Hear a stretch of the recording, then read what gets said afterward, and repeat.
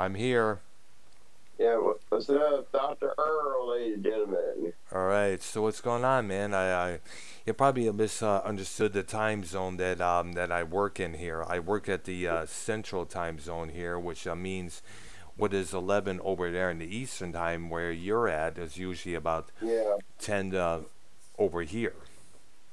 Yeah, it's like almost 1 o'clock, or it's actually 1 o'clock uh, uh, uh, for here. Oh wow, interesting. Wow, so it's almost a 12 over here. Yeah, I got the message uh, that you wanted me to come on your show here and uh, talk about things, whether it's movies, wrestling. Yeah, like whatever. All right, we could do that. I was I know we was we were supposed to do a wrestling talk, you know, um, on my channel here, possibly, you know, but I figured we'd do that uh, here since we weren't able to do it on Saturday night there. Yeah. Yeah. So, how was Monday Night Raw? Um, it was alright, I guess. I mean, didn't really enjoy it, but my parents trying to troll me in my chat room. So yeah, I, couldn't really I saw one of them. I saw that main one in there. You know, I reported it and blo- blocked it as well. There, I had yeah, it reported there. Like, yeah, and like other than, than that, like uh, I guess it was okay. Like I gave it a six out of ten for tonight. Oh wow. So, uh, Uh, what? So, you're hoping it'll be, be a lot more uh, improved in terms of the entertainment wise or stuff like that? Yeah, I mean it's uh like uh the the main event was like uh, Maryse and uh, the Miz. Uh, they uh um they wanted to, to do renew their wedding vows. I think it was just a promo to do on the on Edge or whatever. Yeah. So like that was okay, but like to me, it didn't even feel like a wedding vow renewal. Like it just Let me like a Let me was like guess. a promo. Let me guess. Uh, Edge came out there to disrupt the whole thing. Yep. Yep. Pretty much. Yep, that happens all the time. It did, and Triple H did it with uh, Edge and uh, Vickie Guerrero many years back. You know, uh, Rusev and Liv Morgan did the same thing with Lana and Bobby Lashley. Yep. Yeah. Um. We was uh um Wire Keith was supposed to be there like the whole three hours, but uh, Wire. I mean, I'm not mad at him or anything, but uh.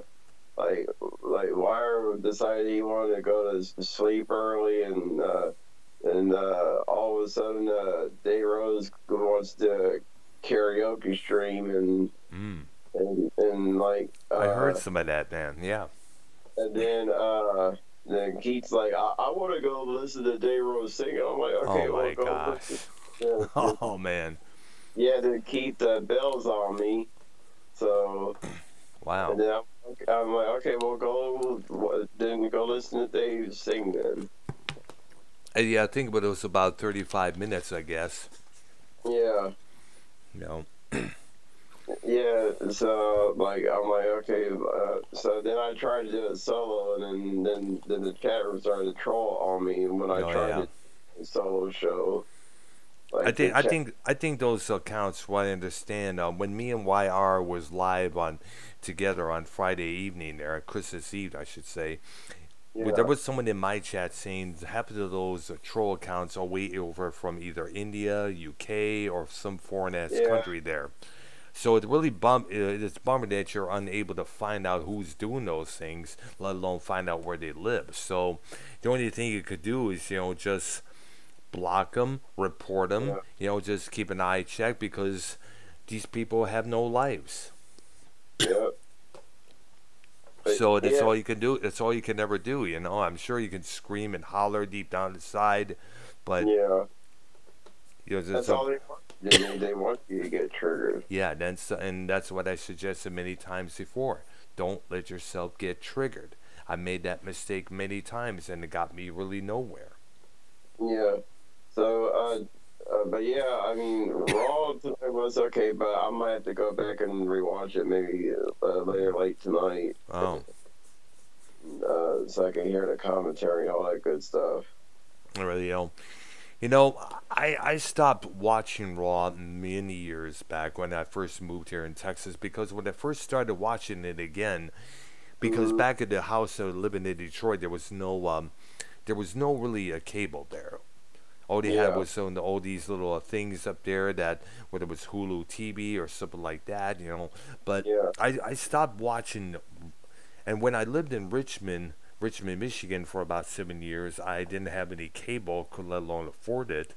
So I had to rely on the WWE magazine, which would come Yeah. out each month when that ex- still existed, you know, to realize what the heck is going on there. But after a while, the whole thing just became more like a WWE Kids magazine, you know, like trivia Mhm. this, trivia that. It's like, you know, give us a break, you know. It's Yeah. becoming too much you know, family entertainment stuff. And I Yeah. think the reason, and when I started watching Raw again, I was like, who are these guys? Who the hell is the Shield? Who the hell is Roman Reigns? Who the heck is this uh, Bayley chick? Who the heck is this person? Like, I, I don't really know this. And why in the outright mind is the audience sitting on their asses, you know, just keeping quiet, you know, and uh, nothing's really happening? I mean, like, are you still are you still doing that today? Uh, yeah, pretty much. Nah, no surprise there because I don't know for some reason the WWE crowd at some of these events here, whether it's Raw, Raw Live or SmackDown, it's just like mm, blah, blah, ah, whatever. I mean, like, the last time Kane came out, it was as a he was like a mystery opponent towards Dolph Ziggler. Nobody really stood up. Nobody would take notice. Everybody was just sat on their asses. I'm like, Yeah, wait a minute. Yeah, yeah, you're talking about Dolph Ziggler. Yes, said yeah. Yeah, man. Well, either way, either way, Kane would come out. Whereas in the past, when Kane came out with that fireball intro of his, oh, Yeah. everyone Yeah. stood up. They took notice. They would cheer. They would boo, mm-hmm. whichever.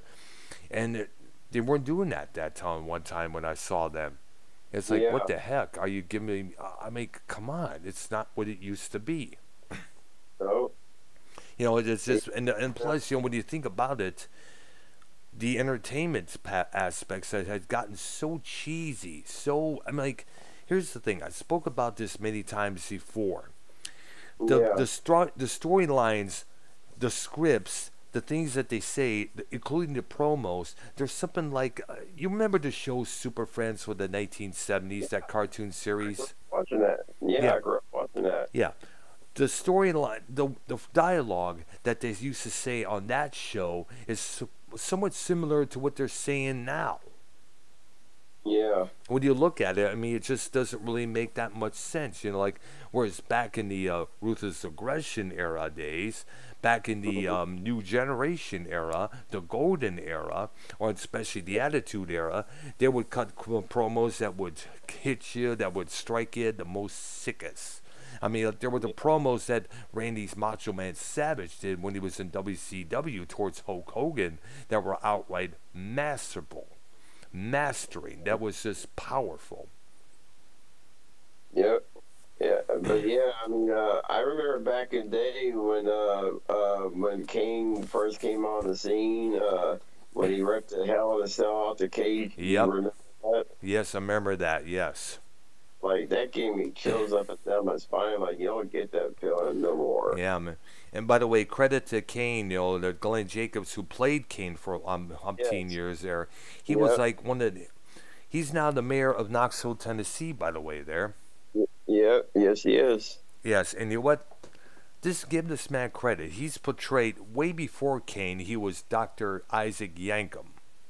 Yep. Uh, DDS, he was uh, Jerry Lawler's uh, dentist. Yeah, he was also the main opponent for um for Bret the Hitman Hart, who, as you know, uh, Uh, Lawler was beef with at that time. There, he also was Doomsday in the uh, USWA for a number of years.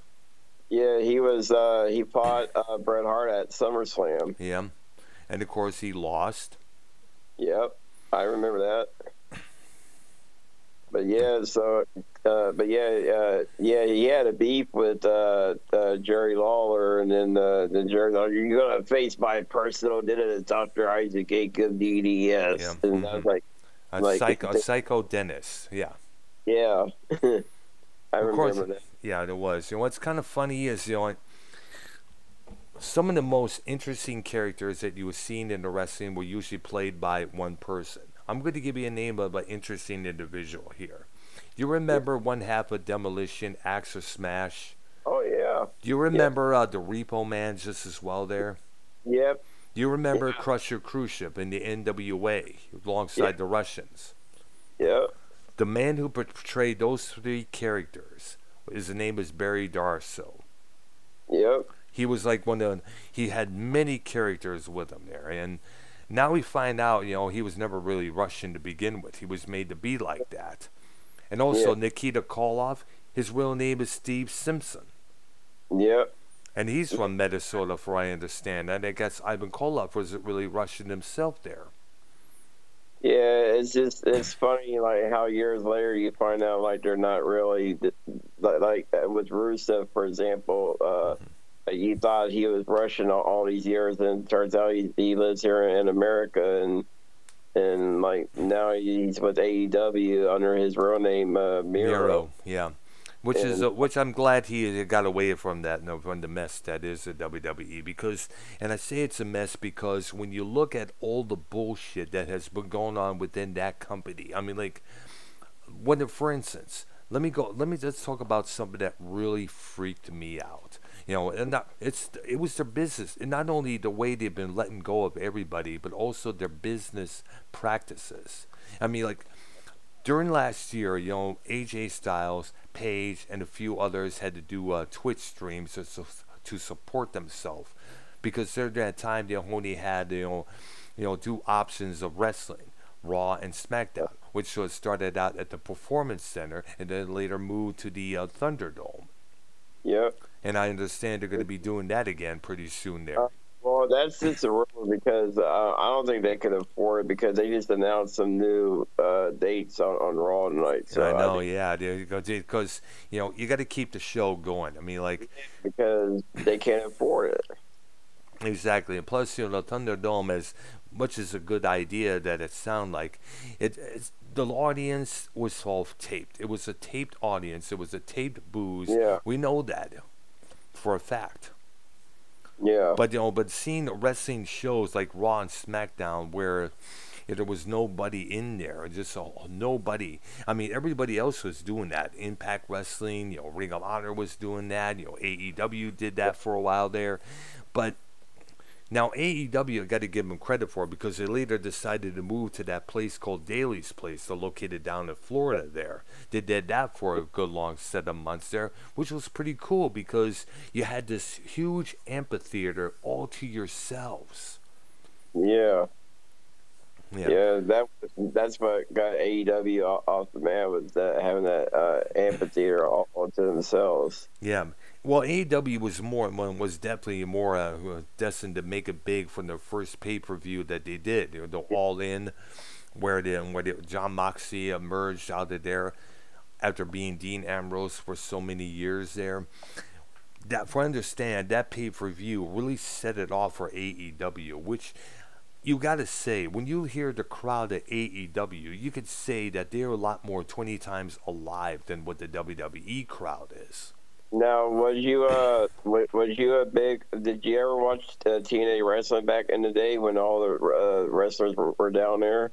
Um, I never really watched it TNA when it was called TNA. You know, at that time, like I said, I Yeah. didn't have a cable, let alone uh, alone a TV uh, where I lived in Richmond, Michigan during that time. But I would listen, hear, we often read uh, reports in wrestling magazines like uh, Pro Wrestling Illustrated there and uh, other stuff Yeah. there.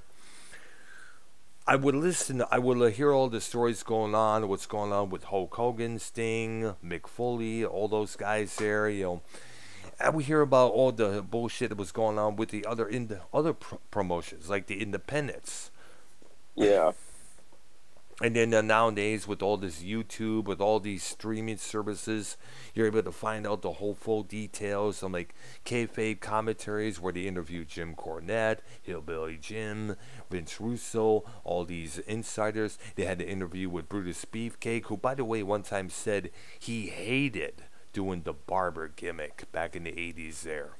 yeah, I mean, and it's also no secret that Cody Rhodes hated being Stardust, but that's what he's been told to play. Otherwise, he'd be out of a job. Rhea, Yeah. Rip, um, Rhea Ripley, believe it or not, she even stated that if she didn't cut her hair, she would be let go. yeah. Because um, Yeah, I mean, I enjoyed all these uh, characters back in the day when, when like, I thought uh, Stardust, Cody's character, it had some potential, just didn't go nowhere. Because they, I don't know what it is. A lot of star people, a lot of performers in that company were felt like they were being buried. Another yeah. example, Lana. She was facing Nia Jax almost every week on Raw and always ended up losing. Turns out she was being punished because her husband, who they let go, was now performing as Miro in AEW. So they took that anger out on her. Yeah, now there's rumors going around that Lana might be going to AEW soon. I hope so because you know they're married. You know. Yeah, so why not? You know. yeah. You know, it'd yeah. also be now with all the people that that company has let go. You, yeah. I think wonder, you know, what do you what do you think the real reason is? You believe it's budget cuts? You think it's because they just don't want to deal with these performers no more? Because I read here in the source, and in fact, I did even a vlog on this. Is that the reason Bray Wyatt was let go the way he was because apparently to them he was being difficult. But then again, to to the people out there who are fans of his work, fans of his promos, the fans of his performance in there, whether it's the physical or vocally, he was trying to protect his character, protect his gimmick. Because you know yeah. the WWE has been known to twist things around, you know, to make it more yeah. subtle.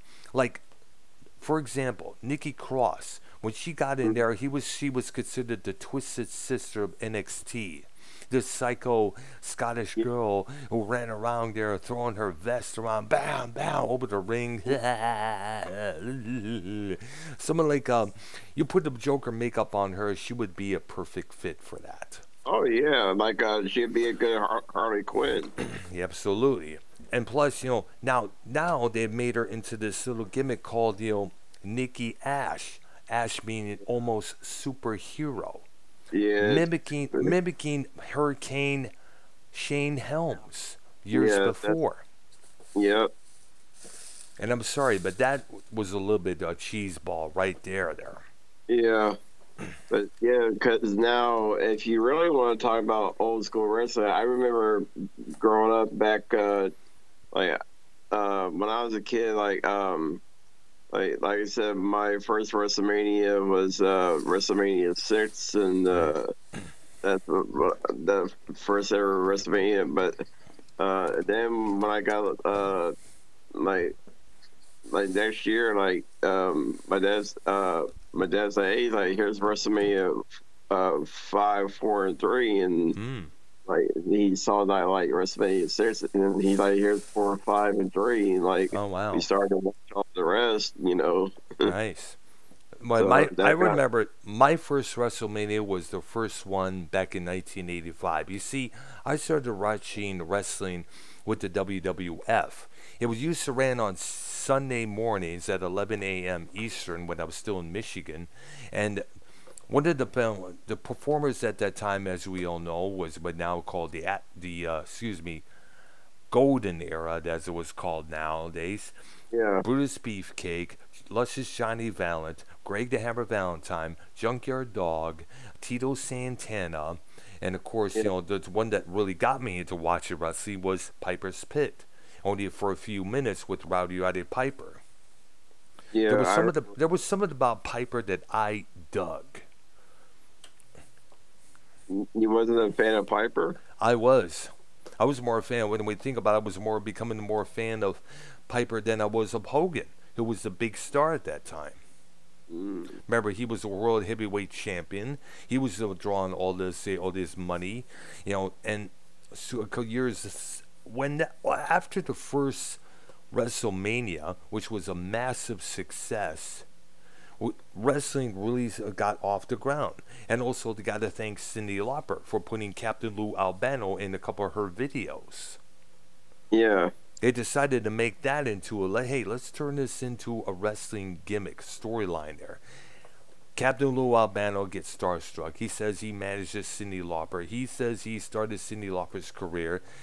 Cyndi Yep. Lauper comes on Piper's Pit and says, "Oh, that's not true. I love Lou, but he's not my manager." Then Lou comes out there and starts berating her, and then she, all of a sudden she smacks Lou around there, almost strikes Piper, and then they have a little thing called um, the brawl to settle it all. I think was that.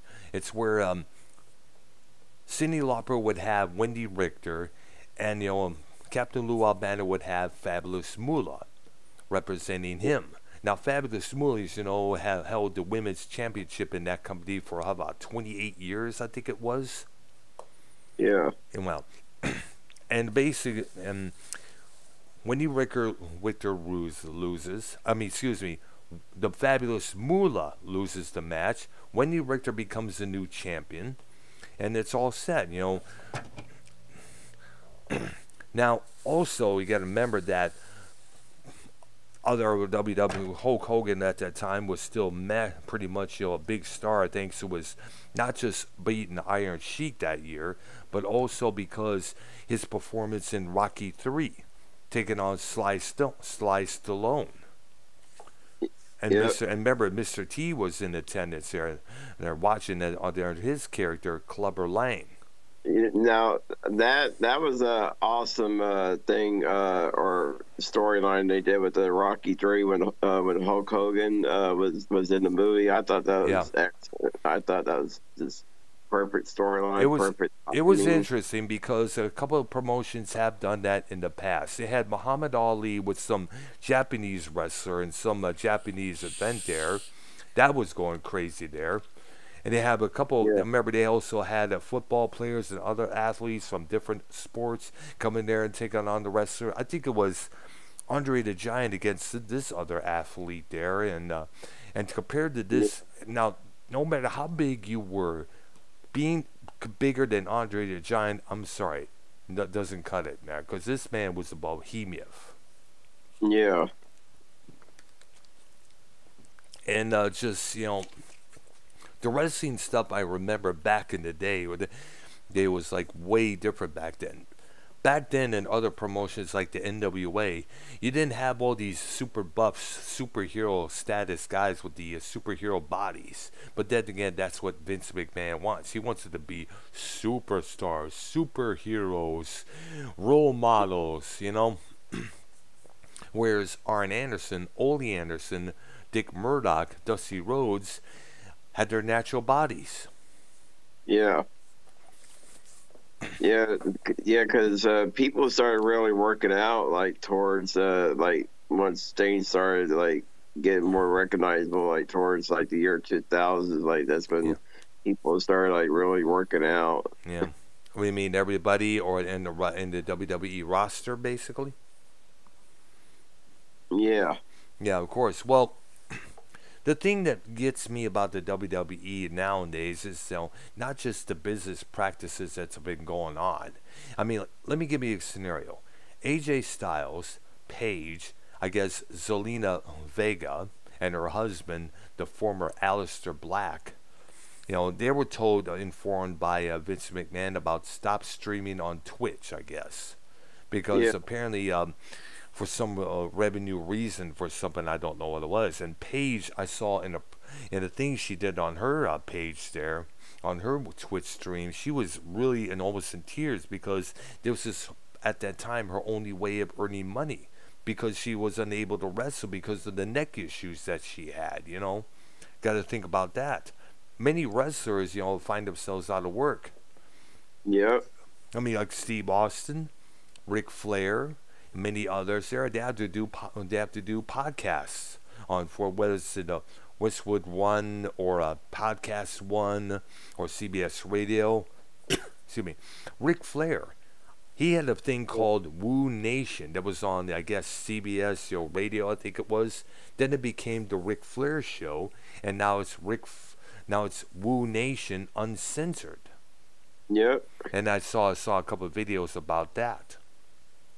You know, and I hope Ric Flair gets himself, you know, makes himself some good money through this deal here. They should have it Yeah. on Spotify like they did with Joe Rogan. You know, yeah, because you know, for understand, he's been in need of money for a long time there.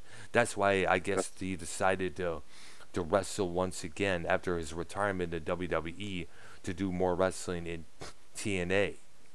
Now, let me ask you a question, uh, uh, Doctor Earl. Yeah. Uh, who is your um, who is your favorite wrestler growing up, uh, like uh, between like the '80s and the '90s? Oh yeah, no question, Rowdy Roddy Piper, because he was a he was a psycho when he got in the ring there. Yeah, not like now. Did you have a second favorite? Well, I think uh, my I think I don't know remember if I really had a second favorite favorite there, but I do remember um, my ma was a favorite of Paul Orndorff, Mr. Wonderful, rest in peace.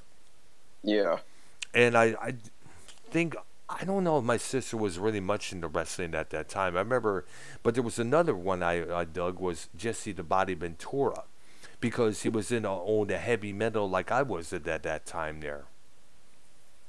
yeah, In fact, uh, he released a single called "Body Rules," which he dedicated to all this, those who served in uh, Vietnam, because apparently he was involved in that war. He was a Navy SEAL uh, many years before that. yeah.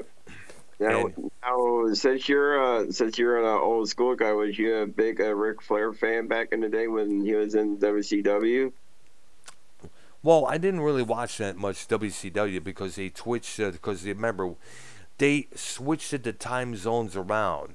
I was more of a fan of him and all the others, Dusty Rhodes, Magnum TA, the Arn Anderson and Ole Anderson, the Frigital Four Horsemen, back in the, the NWA when it was uh, Saturday night.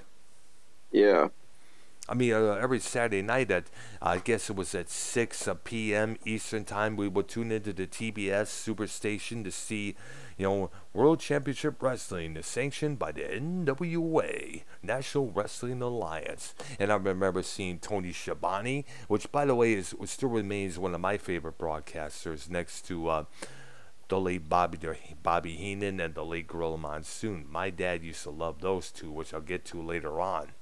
yeah. But yeah, I mean, uh, I I grew up uh, like what really got me into wrestling was uh, Gorilla Monsoon and Bobby Heenan. Like they got me hooked into wrestling. Like they won me over with their com- commentary. Oh man, did you love? They love the stuff that they were stuff they were doing.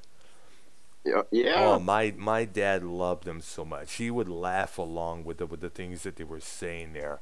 Those two hosting prime time wrestling was yeah. I was just about ready to say that, dude. Like when they were doing the shows on the prime time wrestling, like Yeah. like like there are times when uh like like uh I think when uh when Bobby Heenan was trying to trigger uh Gorilla Monsoon and, and like uh like you know that the, that's his classic stuff when Bobby Heenan is trying to trigger uh, a monsoon every now Yeah. and then Yeah. with his crazy rants Yep.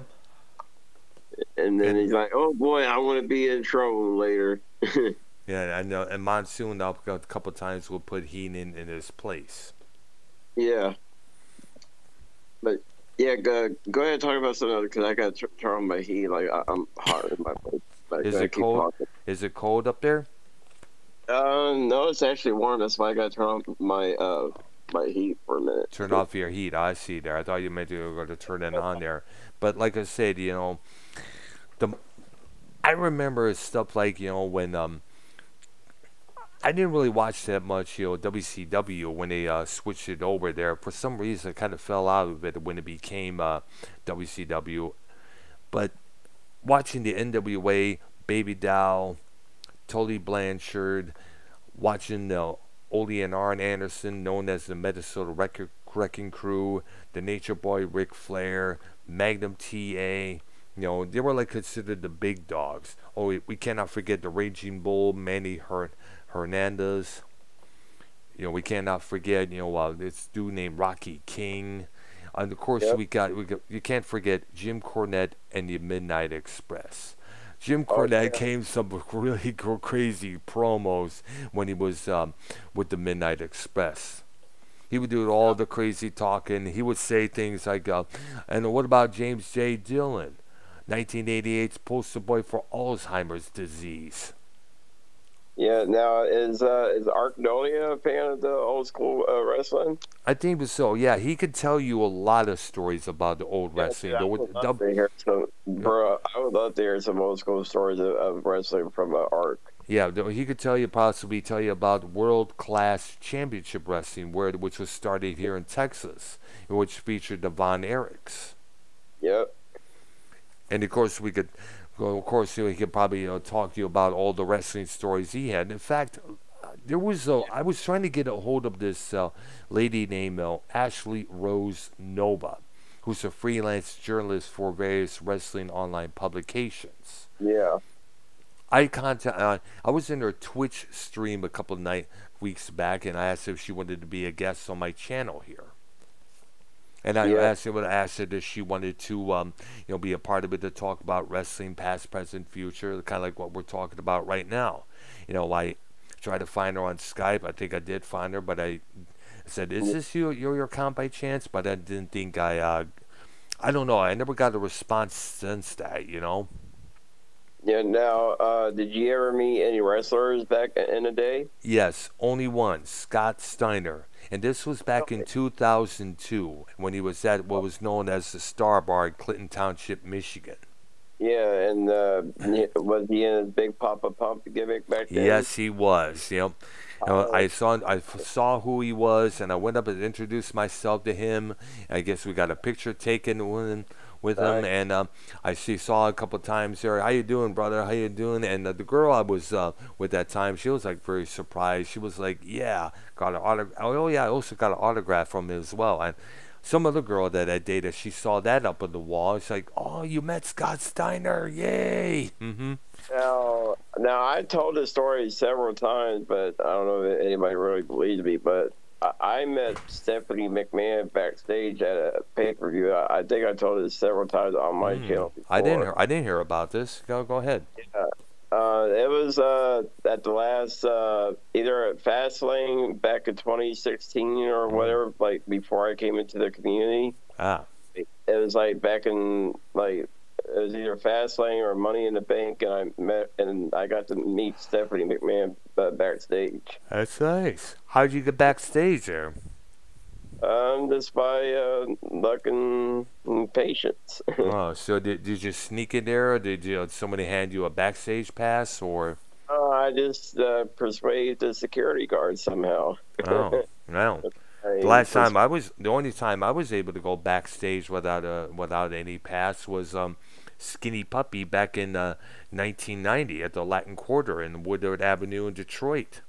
We all waited till I we all waited till the security, all the security team decided to go home. So after a couple minutes after we did that, I walked, I snuck my up there, up there in the upstairs area, and there they were. Everybody was there. Some of the road crew and the Yeah. band themselves, and next thing you know, the other people that was uh, waiting outside, they decided to walk up there, up there as well.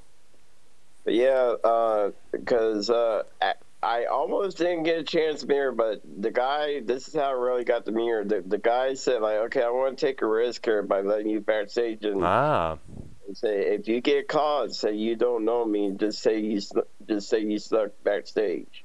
all right there. Oh, so but you at least, but at least you kept yourself in check, you know, so you didn't get yourself in trouble there. Yeah, so, uh, so I told good. the- yeah, so I told the guy like, yeah, I was like, I got your back. Like, I won't, I won't, like, uh, like this, uh, I won't snatch your. Uh, you know. Good, yeah, no, absolutely, because you don't want to cost to do this job there. But yeah, so like he's like, I'll let you back there. Like, but if you get caught, it's like, don't say that I let you back here. Like, Uh. I, like I can get in trouble. I understand there, yeah. There are some good uh, security guards out there. But, There- yeah, that's how I was able to meet Stephanie. That's good, you know. Um, and this uh, probably, uh, I take. Oh, that's right. I was going to say, you know, uh, I was going to ask if Triple H still had his hair, but I realized no, he cut it ages before that. Yeah. Yeah. Now, now check this out. My brother's wife, my brother's wife, uh, she met Triple H at, at some uh, random uh, convention place uh, Hmm. back in 2005. Wow, interesting. That's cool there. she had a she had a full blown conversation with him too, and uh, she's got pictures uh, with him. Oh, good. That's glad to hear that. They'll probably hold on to that. You know, this is probably Yeah. when he still had his hair, correct? Yes. Oh yeah, those are definitely those uh, pictures are a keepsake because you know he likes to keep his hair massively short with that long ass beard now. Yeah, but yeah, uh, uh, yeah, she uh, yeah she met him at some uh, uh, random convention place, uh, and somewhere here in Columbus, and uh, it was at the Arnold Classic thing or whatever. Ah, Yeah, I think that's where she met because my it was uh, my brother didn't get to meet him, but uh, she was trying to find my brother and or, or her husband, and like, and I guess she got lost in the shuffle, like with the crowd somewhere, and and like I guess while she's trying to find uh, my brother, and and so she's like, you know, I guess she sees Triple H coming out somewhere, and I guess she might have been like backstage, maybe like maybe close to where I don't know how she managed to meet him, but uh, she told me she had like a like an hour full blown conversation with Triple H. ah, interesting. You know, um, that's one of the few few great moments that yeah, anybody could have with a well-known celebrity now. Yes. and since cele- the star the wrestlers had to become celebrities themselves and here's something else that you ever notice Yeah. uh, they've, they've done this a couple times in the past with, with Jon Stewart being involved with uh, John Cena and such they've done Yeah. this a couple times but back then you know having celebrities whether it's Pam Anderson being involved with Diesel Big Daddy Cool I remember Ozzy Osbourne backing up the British Bulldogs at the second WrestleMania. You know, Liberace being a timekeeper. You know, Joan Rivers being the bell ringer for the main event. All that for the main event at the first WrestleMania. Yeah, now now it started. They stopped doing that for a long while there because now the wrestlers themselves have become celebrities. Yeah. And I guess they decided, you know, just hey, we could also have to cut back on here because a lot of these celebs, you know, probably demand big bucks, you know, to make these small appearances there. Yeah. And in Yeah. a lot of way, a lot of ways, when you think about it, they have become celebrities. I mean, when you think about it, Now let me ask you a question. Now, was you a fan of the NWO when they came on the scene? actually, yes, I was. Now let me ask you this else question. Now, when they split up, was you a NWO uh, NWO Hollywood or was you NWO Wolfpack? It was more NWO Wolfpack. Uh, okay, I was more I was more NWO Hollywood Hogan. I was with the black and white. I am. You know what's what? I was a big fan of the NWO. The reason why the NWO made it so big because it was such, because it was new. This was different. You know, people were tired of Hulk Hogan doing the saying your prayers, train, eat your vitamins, this and that there. And you got to remember, Hogan's kind of reputation was kind of like, you know, dismantled when it was revealed that he did do steroids back then. There were a lot of people um, were upset at that, you know. That's kind of like going against uh, the grain of what he used to preach in his old promos with the WWF Yeah, and you gotta and plus you gotta remember the Hulkamania running wild over you gimmick had kind of like you know died down so much there. There was a inci- few incidents where he would walk out and be booed by the crowd. yeah, because they got bored with it after a while. So Hulk Hogan turning heel the way he did was not only a shock, but you know what? It was it was needed. I remember Yeah. seeing the whole thing at a, on the TV. At, go ahead. yeah, his character was getting still. Yeah. So they had to come up with something new. And when you think about it, this was in 1996. The whole 90s was anti-establishment altogether. You know, the the the family values idea had gone out the window. People were embracing alternative ideas, especially the young kids around that time, which, by the way, they still embrace today. And these are the I've mentioned a few times. They're the ones running Twitter, Facebook. You know, speaking about God, speaking out against anything you know that's conservative or traditional. You know, Yeah. so because to them, you know, tradi- that's the tradition they grew up with, not this Um, other tradition. Now let me ask you a question. Was you a fan of Shawn Michaels back in the day? Eh, not too much there, you know. It was it was okay at the time, but yeah. But I was more of a big fan of uh, Big Daddy Cool Diesel. Oh, Diesel, because uh, he was from uh, your former state, Michigan, right? Yeah, Detroit, Michigan. Kevin Nash. Now, when you lived in uh, Detroit, um, was, was, you close to uh, Eminem's uh, like backyard? Any like eight mile? Like no, I wasn't. I really wasn't. During that time, I was living in. We, we lived in three areas. First, it was in Detroit. Then we moved all the way moved all the way to Roseville, which was a few long gone miles. We lived for there for many many years. And then yeah. uh, some stuff happened, and I ended up in an area called Richmond between Mount Clemens and Port Huron. Yeah. I had to stay there for seven years until I moved back to Detroit to be with my girlfriend at that time. Yeah. Now, was you a, a, a fan of the Macho Man, Randy Savage? Oh, yeah. Yeah, I, I did dug him a lot. You know, he came up with a lot of good persona there. You know, he came a lot of good stuff there, and he had the the ultimate heel style when he was in the WWE. The I mean, best, WWF. The best he ever did was the Macho King heel. I thought yeah. that, that was the best ever, the Macho King one.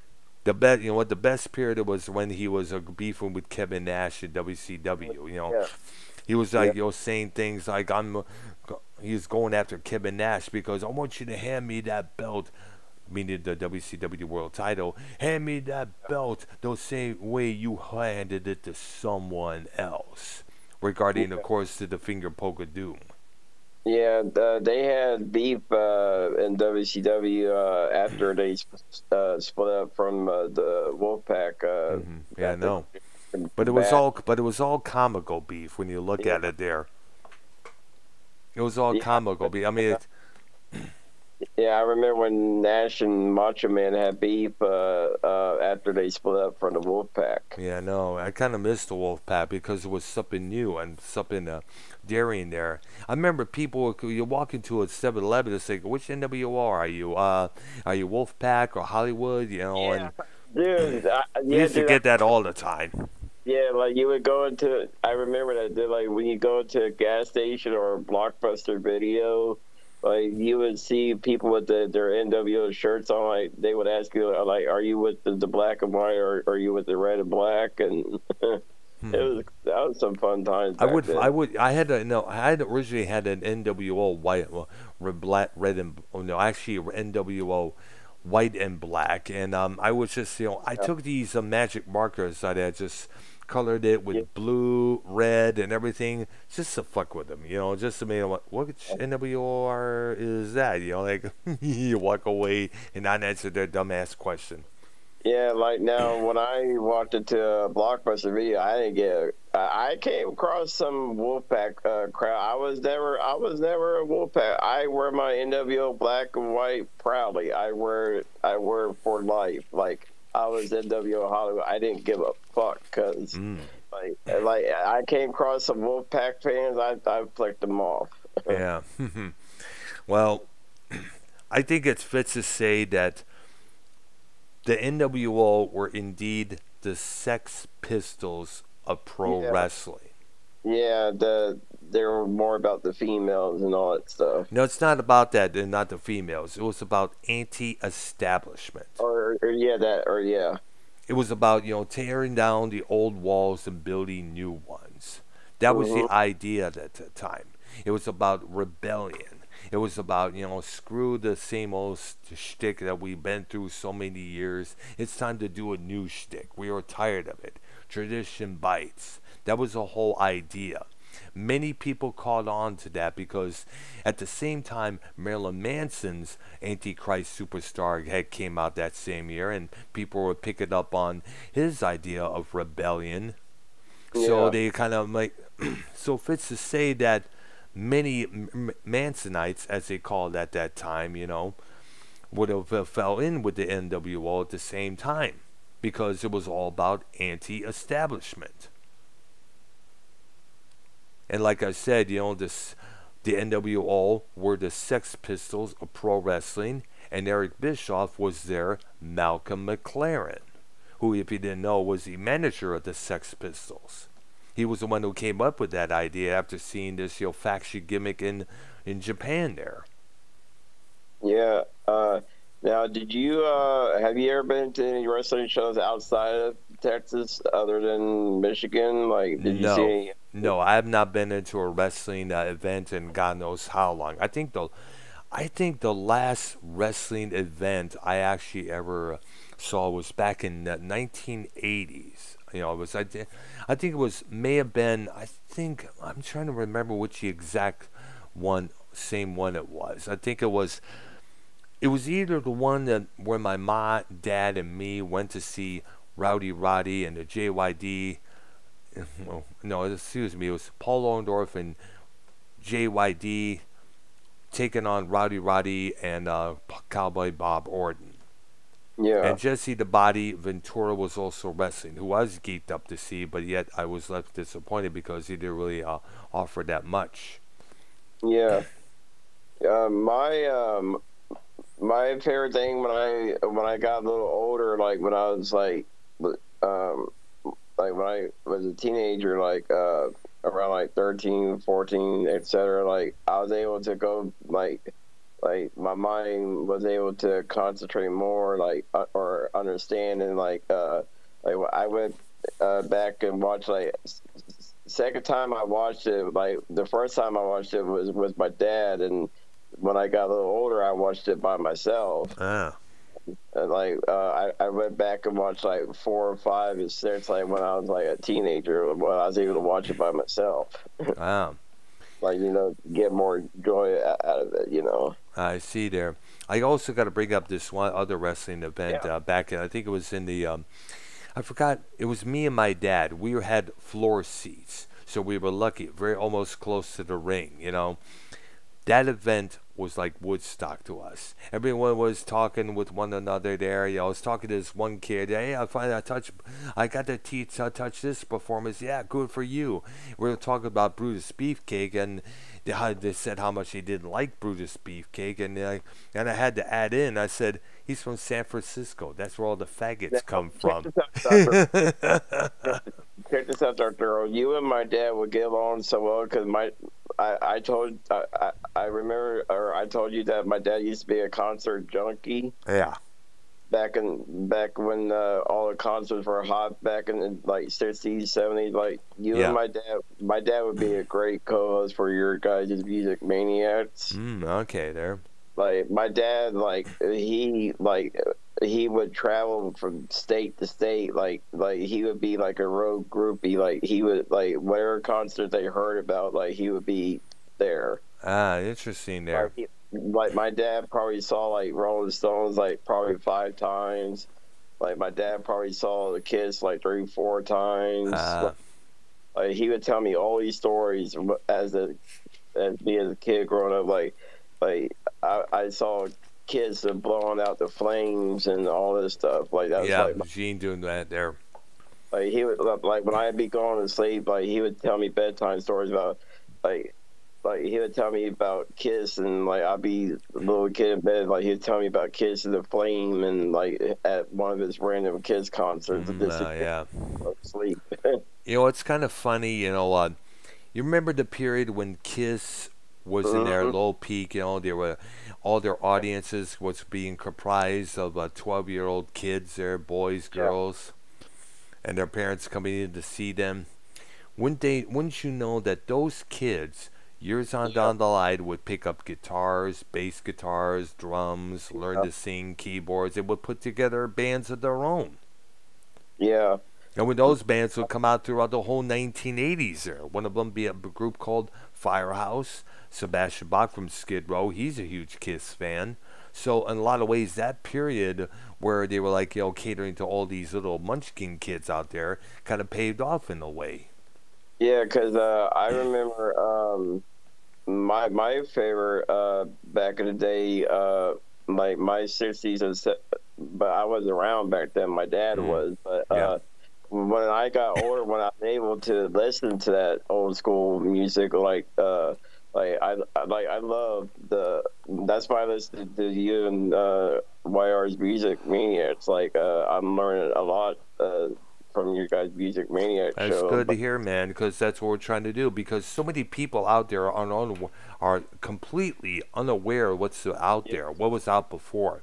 Because you got to remember, so many kids of today are so concentrated on the stuff that's Yeah. around them, which is being you know being shoved down their throats, and the stuff Yep. that's being reissued now for the uh, are the basically the main ones, the main uh, sellers. Like for instance, you know the Eagles, they'll probably go for Hotel California, and that being reissued and nothing else. Dude, I, I love Hotel California. That's Mm-hmm. like one of my favorite songs. Did you ever uh, hear the story of the alleged supposed reason behind that song? No, but you can tell me here. Oh man, there was a lot of rumors that that song was about was about being in meeting a satanic church. Really? Yeah, there was.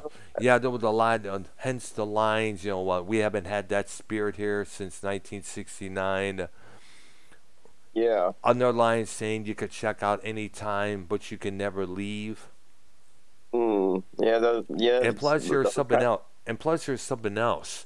In the gatefold of that album, up in the balcony, they, they filmed a photo with the band members, with all these, you know, different sorts of people, rich, you know, regular people. Up in the balcony is this mysterious figure, and many people have been come to believe that that figure may or may not have been Anton LaVey, who had, who was the Uh. founder of the Church of Satan. Yeah. But yeah, like I said, my when I when I got in my teens, like when I was a teenager, like my favorite old school bands, like I loved the Eagles, I loved Rolling Stones, um, I loved um, ZZ Top, all that all that shit. Oh, loved it. nice, cool there. because my dad seen all those people in concert. All them people I named off, my dad seen them all. Wow. Like he wore them out. Like he, he probably saw ZZ Top like four times. That is interesting there, yeah. Yeah, he that those would be like my bedtime stories about his concert uh, stuff. Like that's would be my bedtime stories. Interesting there. yeah. Um, but yeah, uh, now that's uh, uh, now what is what was your uh, favorite movie uh, growing up a, as a kid? Oh well, oh, I can honestly um, start off with obviously Star Wars. Oh, you, oh, dude, I love Star Wars. Dude, I when I my mom took me and my sister to see the first Star Wars. But at Yeah. that time was called Star Wars. And I was like, holy cow. When I first saw that Star Destroyer fly up above, I was like, holy Yeah, I was, cow. I was a little kid. Um, uh, I re- hang on, let me ask. Uh, Yeah, yeah. Alexa, what year did the first Star Wars movie come out? 1977. The Star Wars franchise, Star Wars, Episode 4, A New Hope, was released on May 25, 1977. Booyah. 1977. May of that year. Yep. And since that, they decided to release every two year, every two years afterwards, a new uh, episode in uh, in the May of that whichever year. Yeah, I mean, did you hear Alexa back there? Yes, I did. That's the female version of HAL 9000 to me. There. Yeah, yeah. When you Yeah. think about it, I mean, would you have you ever saw 2001: The Space Odyssey? Yes. Now, yes. wouldn't you agree that that movie foretold the technology that we have now? Yes, I. I And I uh, for those like out there, who don't know, don't- for those who don't know what I'm talking about, there's a couple scenes where um, the two astronauts in there are see, having dinner, looking at a sky, looking at a conversation of being taking place between two people far, far away in different countries, and they have with them a couple tablets, kind of like the tablets that people are using today. Yeah. Uh, and plus, that movie also reminds me of the movie The Last Starfighter. Mm. Remember that one? Uh, I don't think I, I think I remember hearing that, but I don't think I ever saw that there. Yeah, it's uh, it's the '80s movie where this kid, uh, I think if I'm talking about it right, where the kid playing a video game and Yeah. Um, and uh, and the aliens come and get him, and uh, Yep. and he's like on the spaceship or something. Yep, he's a set. Uh, they probably it was a setup to them to see if they could find themselves a good fighter to fight the evil uh, troops that are coming for them. Hey, let's get this Earthling, you know, to help fight with us here. Yep. And uh, now, uh, what would your top five movies would be of all time? Well, number one would have to be, of course, you know, um, Star Wars Episode Four: A New Hope. Uh, the Yeah. second would have to be, you know, Close Encounters of the Third Kind. Dude, I love that one. That's so that's- did I, man. You know, that's how I found out about Steven Spielberg, by the way, there, and his Yeah. incredible work. And of course, and uh, number three would have to be the first Superman with um, yeah, Christopher Lee. Yeah, Christopher. Yeah, I, Yeah. Dude, I got, I got Man of Steel, uh, uh, 2013 Superman poster, but I want to get the original one. Oh uh, man, Man of Steel. Yo, Man of Steel had to be up on my uh, other list there of uh, top five Yeah. because that movie was so badass. The soundtrack, the it was. effects, and the acting. You know, um, Harry Cavill, Christopher Meloni, you know, Russell Yeah. Crowe, and uh, Michael Shannon, the guy who played General Zod.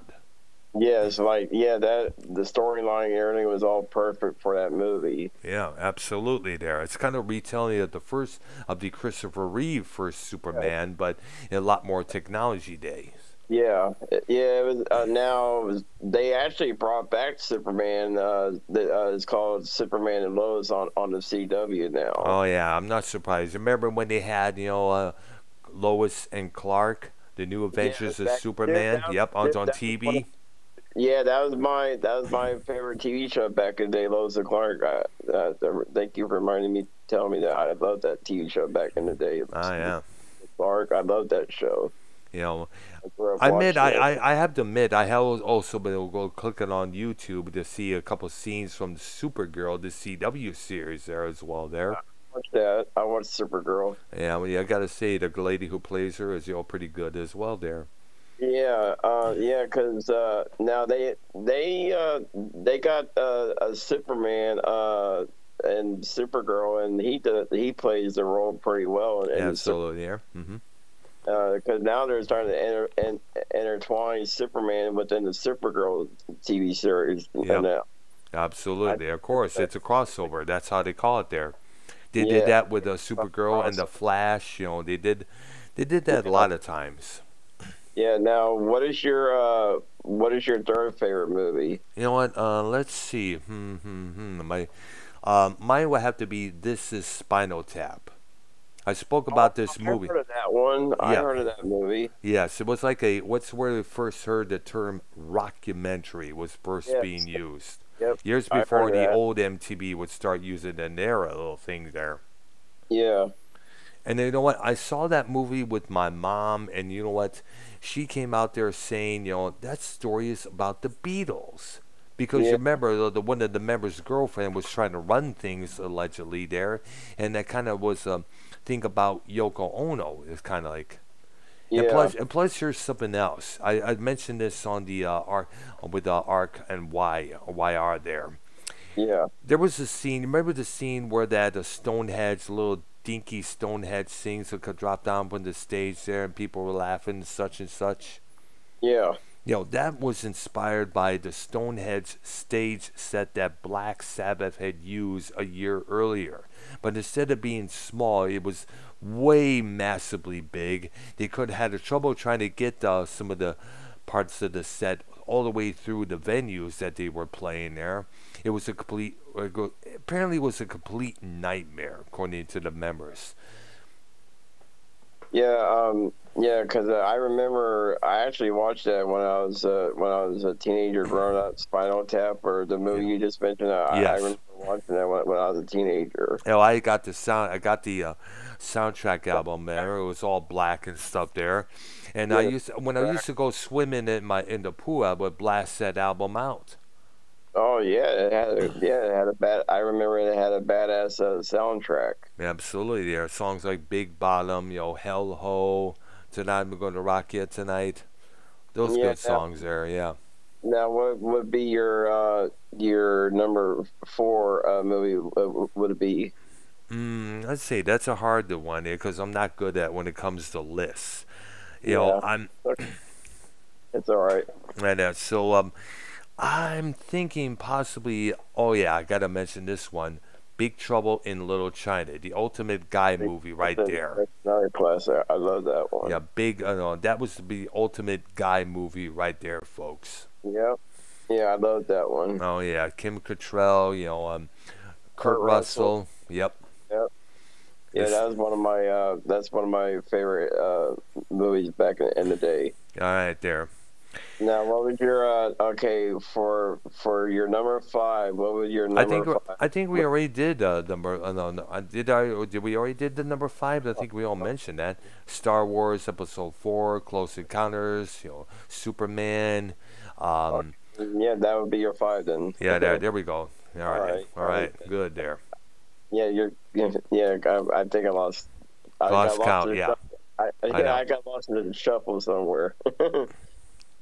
but yeah, uh, now here's my top five uh, Mhm. growing up back in the day. Um, now for uh, it it could be like a little bit of everything. Like this would be my top five, like of all time, and like I, I don't know if you consider them movies or not, but I I, I do. But my my top five would be uh, the movie Purple Rain. Oh yeah, Prince.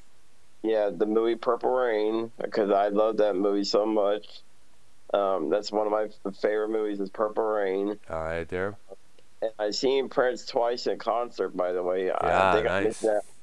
I think I mentioned that on your guys' channel a, a few times. I see there.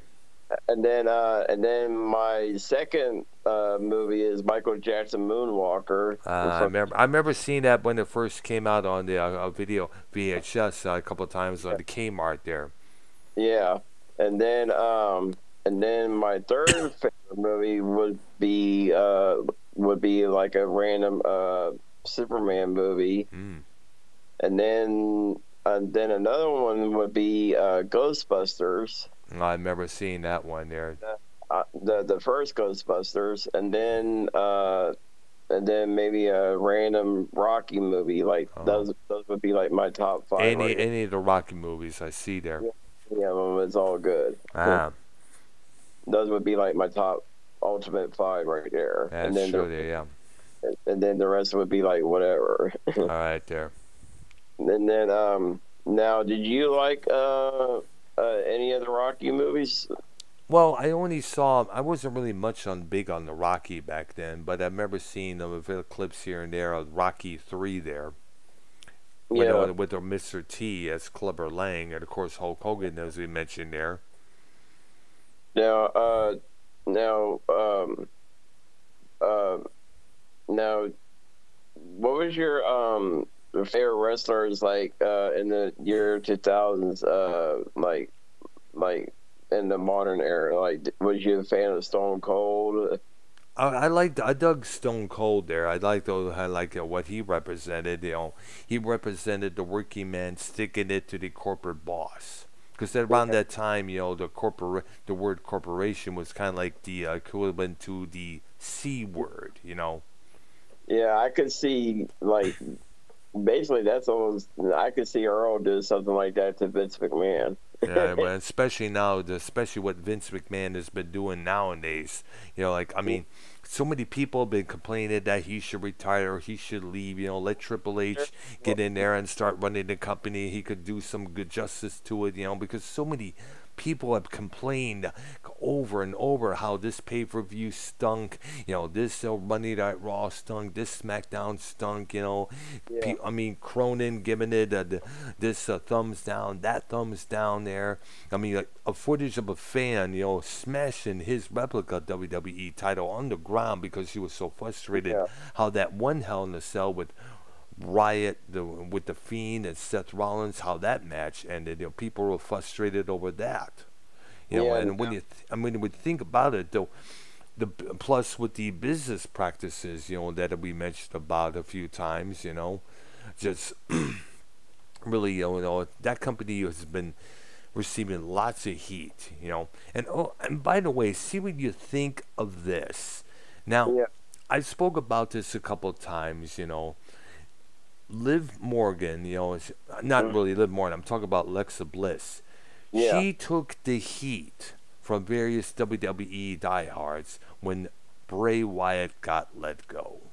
Yes. They took it out on her. They were to, to the point where she had to make her Twitter Twitter private for the time being. And Yeah. they did and they did the same thing with Naomi when her husband got into a, DUI. Now Yeah. th- that was now, but yeah, why do you think they were taking it out on her? Yeah. Why do you think they would do that? Uh, probably because um, they probably might have had some beef like behind the scenes. Probably. No, we don't know. Yeah, but no, but she did. Say, Alexa did say that she enjoyed working with Bray when he was still there. But for her, for them to take it out on her was just uh, simply wrong. You know, but th- that wasn't her decision. It wasn't her fault. It was the fault of Vince McMahon, John Laurinaitis, and what's his name? Oh yeah, Bruce Pritchard, the former brother Love. You used Yeah. to remember he played that character for a good number of years there. Now, what happened with Jimmy Uso getting his DUI, that's Uso's fault, not Naomi's. I'm sure she was not happy about this just as well there. And Yeah. keep in mind, this is not the first time that he did this. Yeah. Now, was you um uh was you a fan of the Heart Foundation when when they formed back in the day? Um, the new one, uh, the back in the 80s or the later 90s version, was when it was a five piece.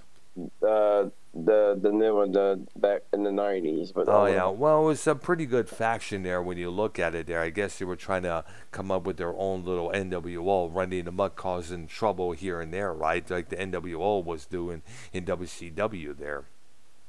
yeah. I got, n- but but the problem is, you know, the hard, you know, pr- the problem was, you know, I guess, I think what it was is that after seeing Hulk Hogan turn evil, turn to the dark side, like he did in WCW, Vince McMahon, you know, hey, let's have you know, Bret Hart, the biggest babyface, turn evil because he. He's frustrated and angry at all the fans supporting Shawn Michaels and Stone Cold Steve Austin and they were building that up for a long while there. I mean, the, the whole thing with Bret Hart, you know, imploding like he did, you know, saying this is bullshit, this is such and such, blah blah blah. You know, I should try to have that title. That frustration coming out. Yep. Now he would know, but then again, deep down, you got to remember, Bret Hart was really upset at everyone. He was upset at the change of the company standards and this and that. But you can't have it things. You can't have things the same no matter what, you know.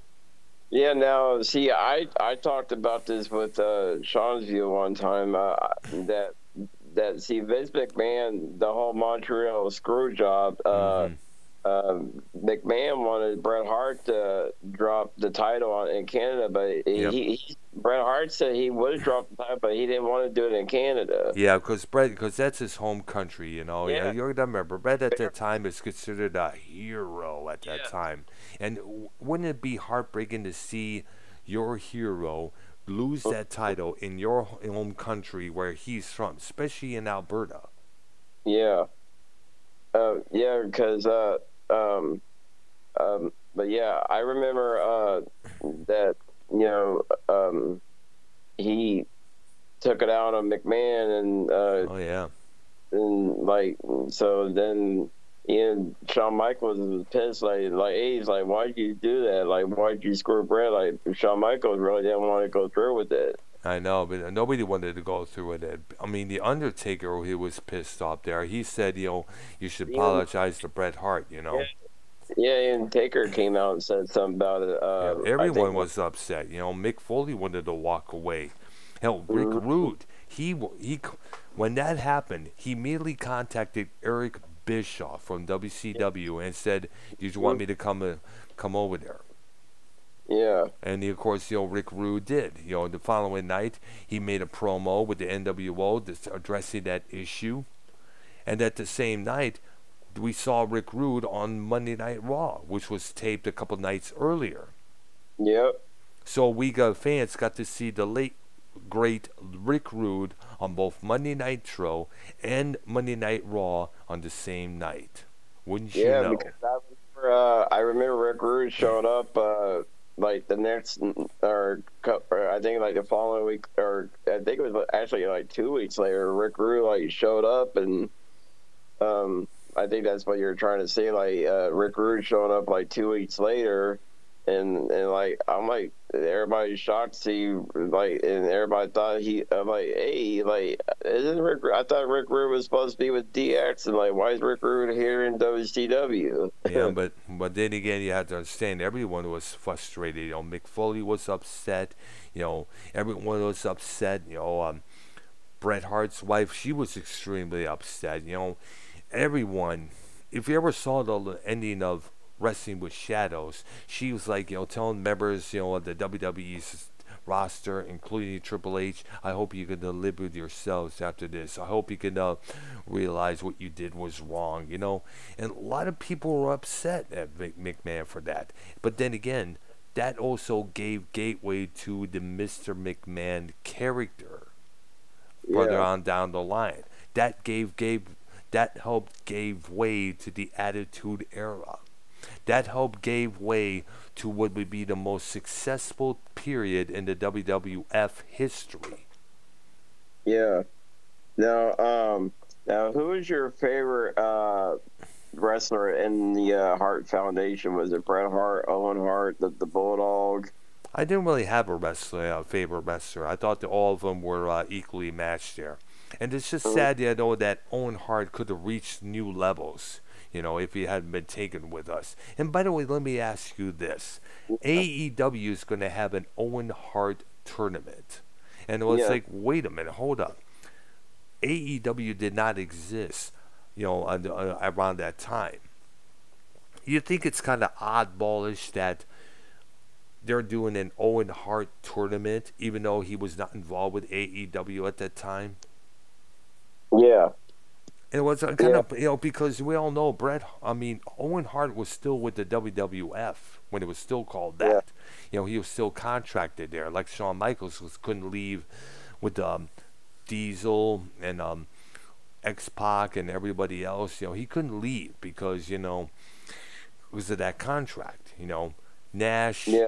Nash and Hall were going to WCW, and uh, they were wishing each other well, but you know, and yeah. kind of interesting, you know, Triple H ended up getting punished because of that curtain call, by the way, as you know. Yeah, they they called it the famous curtain call because Triple H got in trouble for that uh, too. Yeah, no, yeah, he got punished. You know, he got lowered the, the mid card status, but you know, he took it. You know, came out to one of the top stars during the Attitude Era. Mm-hmm. With the you know, with the five man DX and later as the biggest heel there. Yeah, and uh, but thankfully Triple H uh, didn't get punched for it too bad because later on he, he won the King of the Ring. Yeah, that's true there. So I figure uh, mixed ma- mixed man society, you know, let's let it go there. Let's uh, get him some there. So yeah, thank so, goodness. So in a lot of ways, you know. And he put him in the King of the Ring tournament finally. Yep. yep. And of course now he's um I guess he's been demoted from his position, I guess, what I understand just as well there. And now it's um Bruce Pritchard and Vince, Vince McMahon, and I guess somebody else running NXT. Yeah, yeah, it's uh, yeah, they're yeah, because uh, Triple H had a, a heart attack and and I guess Triple H has taken some time off, and I guess he's being forced to retire. I, think, and I think another and, reason may have been because NXT hasn't been really doing that much, you know, in terms of yeah.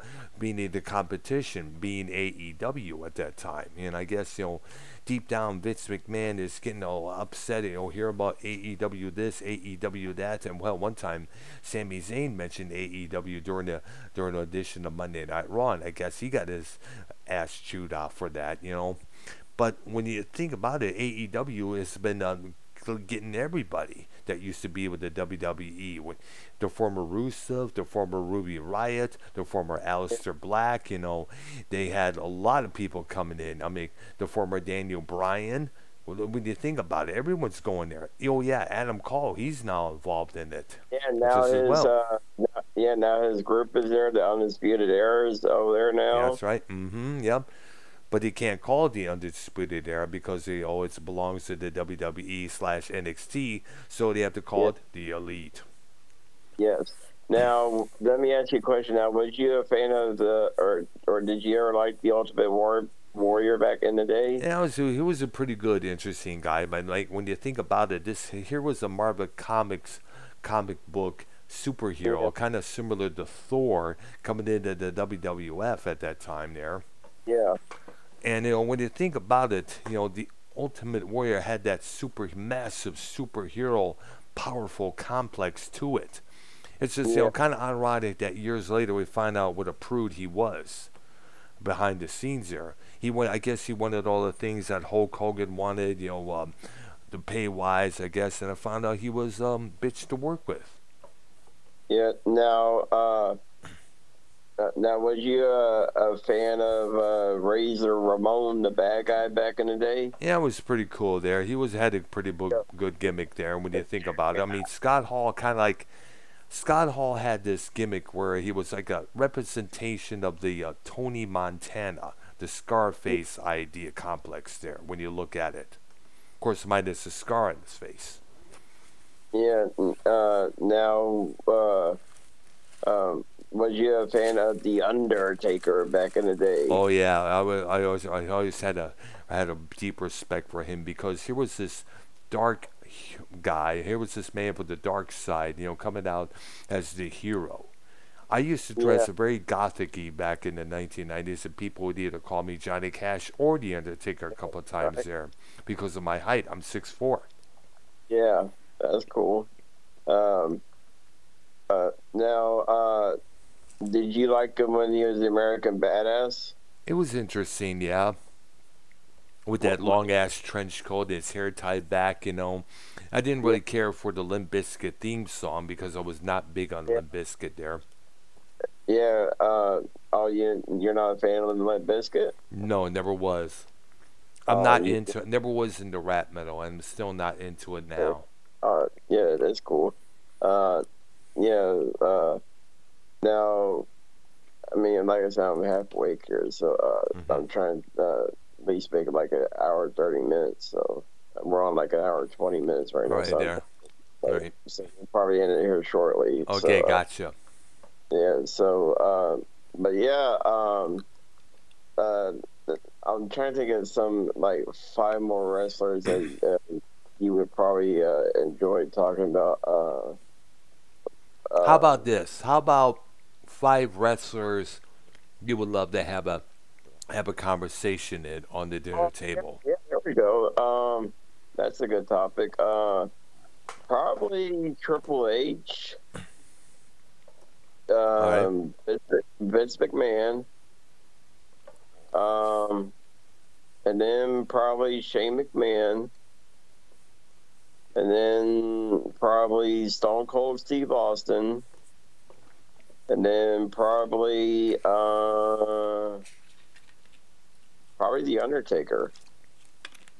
Alrighty then. Nice. because they they know more about the business than anybody. All right. Who, I would- your top five would, be to have a My top five would have to be, you know, uh, Gorilla Monsoon and Bobby Heenan, you know, one and two right there. You know, have dinner, have dinner with them. With those two going at it, you know, me uh, interluding here and there. Did you ever watch a table with three back in the day? No, I don't have the WWE ne- network Oh. there.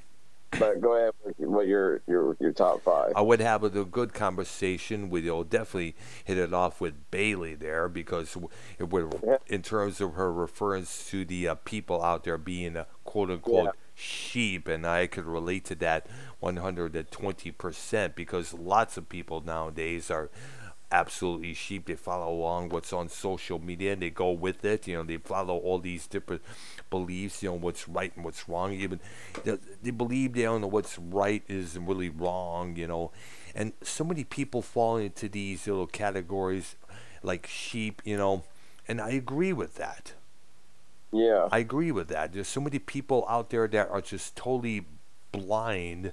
They just follow along with no uh, consequences, you know. So I could definitely uh, tell a lot of stories about what sheep is, you know. I could talk to them and definitely tell her about that.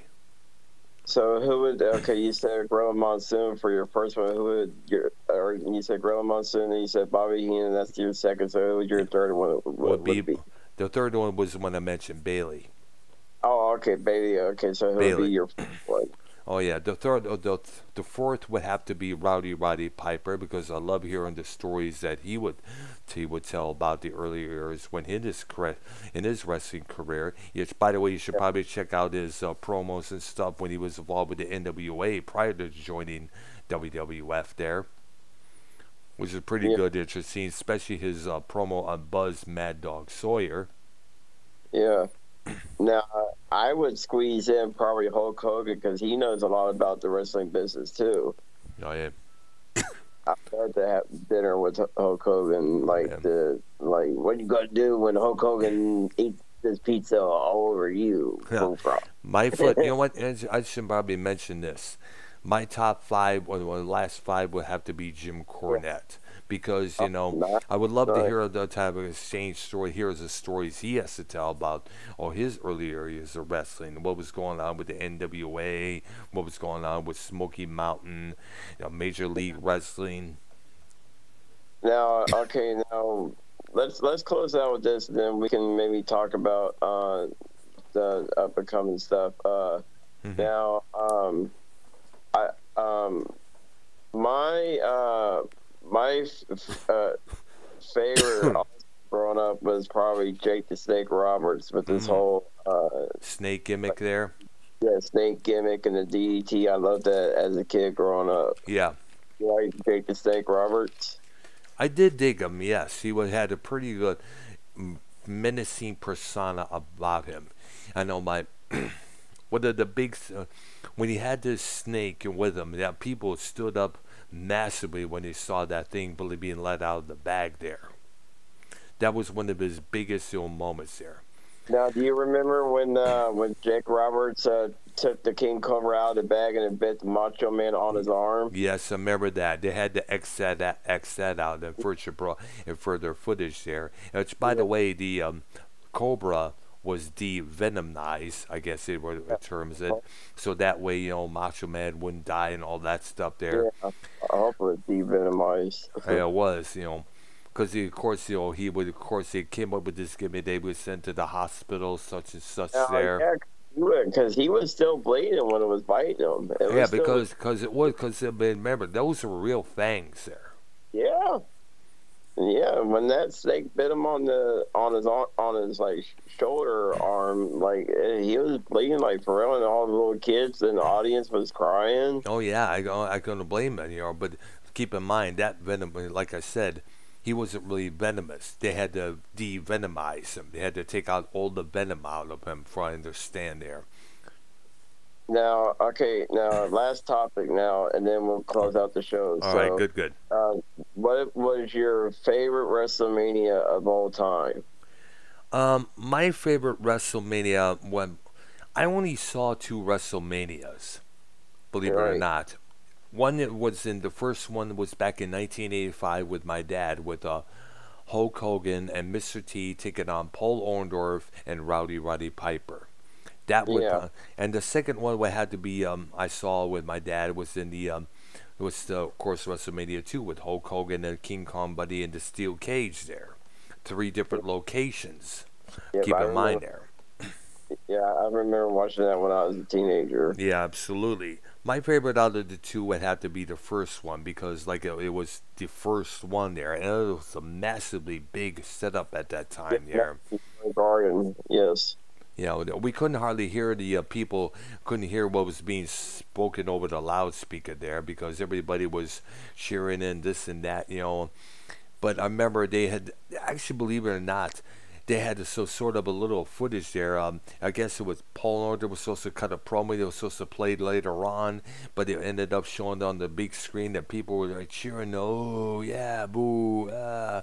You know, and just you know, it was an amazing time for wrestling back then. And keep in mind, this was closed circuit TV, not pay pay per view. They would Okay, not. back- They would not do that until the next WrestleMania, which was the second one in 1986. Yeah, because back in the day, uh, before pay per view, it was closed uh, circuit TV. Yeah, absolutely. I- There. What my dad told me. Uh, Yep. When I was a kid, it was closed circuit TV. What my dad told me. That's true there, yes. And now we got pay per view, so running amok everywhere there. Yeah. So um, now here's I'll close out with my favorite WrestleMania. Then we'll maybe make an announcement after this. So Okay. Uh, so um, uh, my favorite WrestleMania of all time would, like I said, was WrestleMania because that was my first one.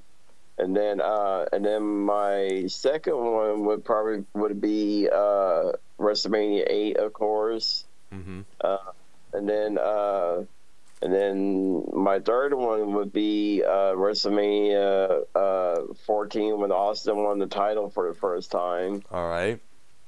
Re- WrestleMania 14, and then uh, and, and then my third third one would be uh, probably WrestleMania 17 when Austin turned heel. Oh, wow.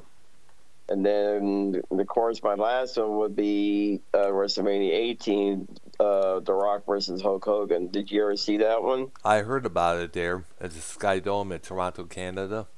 Yeah. Oh, wow, there. Icon versus Icon. And that we would see Hulk Hogan return to the WWE at that time. Yes. Mhm. Yeah, that was like his. Yeah, that was like his ultimate comeback. It was. And the, mo- and the standing ovation he got after the mon- on the following Monday Night Raw was tremendous. Yes. Yeah, and then he finally transitioned over back to the yellow, uh, red and yellow. Uh, Back, Uh, yes, absolutely. The Hulk Hogan like- we know and love, pretty much. Yeah. yeah, he came back like a couple weeks uh, later um, with the uh, Hulkamania colors. Yes, you know, credit to Hogan. You know, credit to Hulk Hogan. Yeah. He not only did he, he did it, he made wrestling you know popular in the 1980s and in the 1990s as well. He did it. Yeah. yes. So he did. He would help bring wrestling to the multimedia, to the mainstream world, not once but twice. Yeah. In the 80s as the biggest baby face, and in the 90s as the biggest heel. Yeah. Now, yeah, because um, yeah, Hulk Hogan was the biggest heel in the in the mid uh, '90s, and yeah, he that's was. why yeah. growing up, and uh, and they were still cheering for him no matter what. that's why I was NWO uh, Black and White. That's why I wore the colors proudly, and Mhm. like I said, if I came across or if I saw any red or black, I would flick them off like fuck Yeah. you. Oh gosh. yeah, like I wore my black and white proudly. Oh yeah. But I will But- say this, you know, and before we close uh, close this, I'll just show. There Yeah. was, I'll bet you, every union worker throughout the whole Attitude Era was given. Yeah. They looked up to Stone Cold Steve Austin as their main hero. Not once did you ever see a, a union worker say, "I love the Vince McMahon character." I love the Mr. McMahon. He's a good guy, and they would not say that and not get a smack across the head.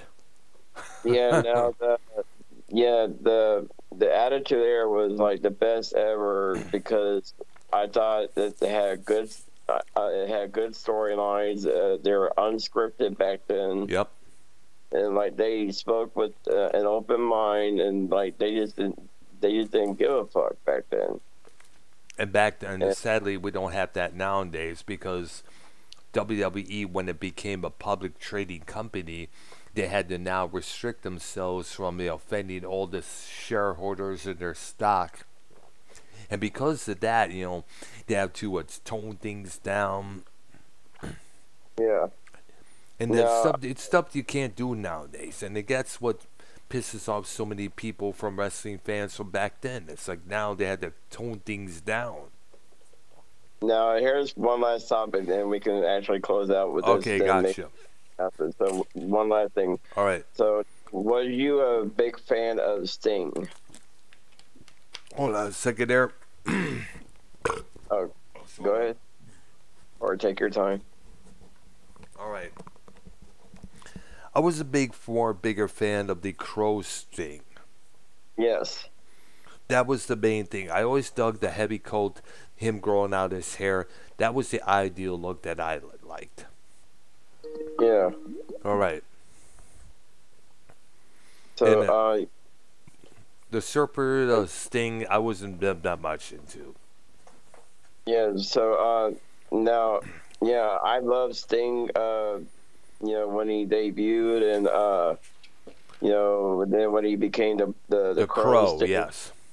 Yeah, uh, everybody called him the Crow Sting. I, I thought that was badass and. Yep, the Uh, anti-hero who was a hero. Yeah, and then uh, he feuded with the NWO, which was badass. hmm And uh, but yeah, so here's the announcement. Um, hopefully, uh, uh, if we could get Arcnolia on board, we could call it Wrestling Maniacs. Maybe All they can get permission from YR to use that. Maybe. Again, we could probably to talk about that. You know, uh, we'll have to probably. Well, I'm not. I have to bring it up with Arcnoia this coming up fr- Thursday because that's the only day I have off for this week. yeah. Yeah, so hopefully um he'll be on board with that one. There, I have to. I'll talk to the guys during our show on that day. Wrestling, uh, Wrestling Maniacs. You know, that And- sounds like a good idea there.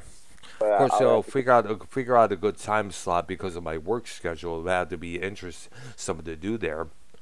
Yeah, so but I would have to get permission from Wire to use that maniac look that you know All right, there. so let me get permission from YR first and then Yeah, definitely then call you- how. Yeah, I know YR came back earlier after his you know, Christmas vacation there Yeah, I with his think that's dad there. he was tired or So yeah, I know he was. So d- were you surprised to see us together at the same spot?